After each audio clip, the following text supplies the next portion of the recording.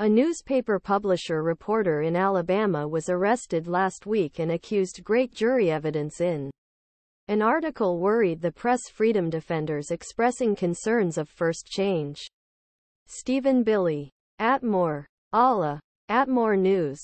The publisher and joint owner of Sherry Digmon and a reporter Don Fletcherin in October. Based on an article published by Don Fletcher. 72-year-old Mrs. Digmon and 69-year-old Mr. Fletcher were arrested on Friday and each of the great jury evidence was accused of account